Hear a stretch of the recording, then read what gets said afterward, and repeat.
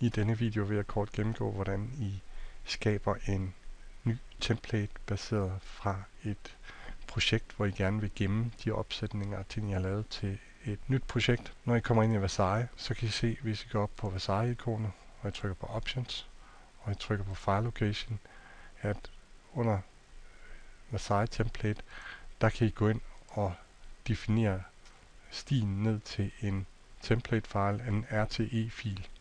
Hvis jeg gør det, og siger Open og OK, og siger New, så vil den åbne et nyt projekt med den template, jeg har specificeret her. Det betyder, at efterhånden som jeg begynder at skabe nogle nye elementer eller andre ting, som jeg gerne vil have med i et senere projekt. Det kan være specielle view-opsætninger, som I gerne vil gemme, som, eller hvor I gerne vil skabe nogle specifikke view-templates. Øh,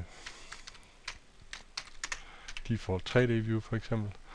Og have en specifik, specifik måde, hvor I gerne vil se og filtrere det view her på. Hvis I så vil gemme det her som jeres template, så kan I simpelthen sige save as template, og så gemme det som jeres default template. Og så save as, og sige ja.